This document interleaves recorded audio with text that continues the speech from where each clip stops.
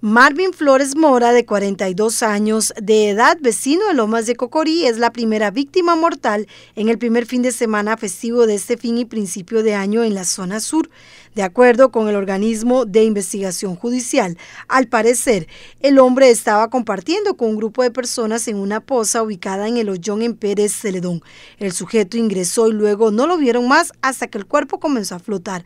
La Cruz Roja se hizo presente al lugar donde fue declarado sin signos vitales. El OIJ hizo el levantamiento del cuerpo y lo trasladó a la morgue judicial para la respectiva autopsia. El caso se mantiene en investigación. Este fue uno de los tres incidentes por accidentes acuáticos que reportó la Cruz Roja. Los otros dos fueron en Playa Ventanas. También se reportaron varios accidentes de tránsito, sobre todo colisiones. Se atendieron tres accidentes acuáticos, dos de ellos en Playa Ventanas y uno de ellos en, la poza conocida como la presa en el hoyón de Pérez Celedón, con la lamentable eh, deceso de una persona.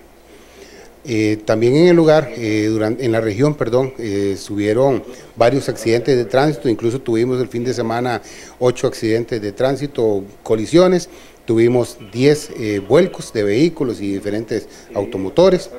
De los incidentes que trabajamos, se trasladaron en categoría roja tres incidentes, categoría amarilla, 11 eh, incidentes y categorías verdes 6 incidentes. Estos fueron trasladados a diferentes centros médicos en toda la región.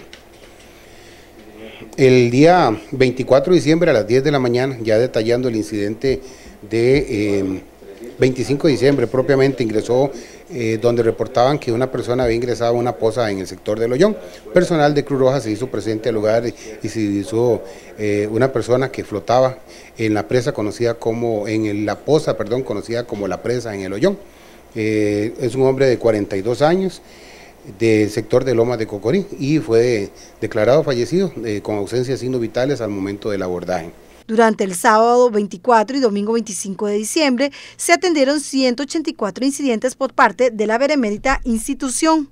A nivel de despacho, nosotros acá en el sistema 911 de la Cruz Roja Costarricense se generaron el 24 de diciembre y se trabajaron en el despacho un total de 90 incidentes.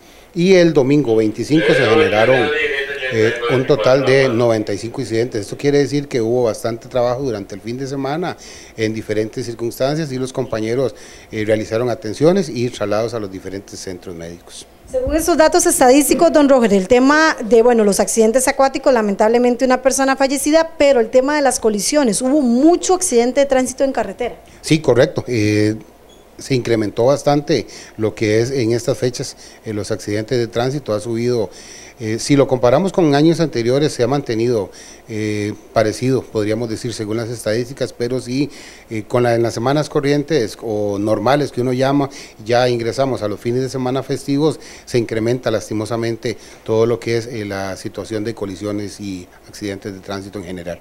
Pérez Celedón es el cantón donde más se reportaron incidentes. Bueno, a nivel de, San Isidro en general, propiamente en Pérez Celedón es donde se genera mucho accidente de tránsito. El fin de semana se manejó eh, bastante incidencia en el sector de Cotobruz, en el sector de Ciudad Neily, eh, más, eh, más o menos se generan muchos incidentes. Por lo de los demás lugares de la región se ha mantenido una situación relativamente normal, incluso en la zona eh, costanera que uno creería que se iba a incrementar mucho los accidentes de tránsito, se han mantenido eh, dentro de los números normales para nosotros en las, según las estadísticas. Se acerca el 31 de diciembre y 1 de enero donde las personas buscan las playas y ríos, por lo que es importante seguir las recomendaciones de los expertos para evitar hechos lamentables como lo ocurrido el fin de semana, donde una persona falleció tras compartir en una poza. Siempre es importante y todos los años lo recalcamos, pero nunca eh, es, es, de más hacerlo, lo que es la prevención, el saber en qué, a qué lugar vamos a ingresar, tipo de corrientes que se manejan, se le solicita por favor a la gente eh, informarse con los guardavidas que están debidamente identificados ahí en la zona.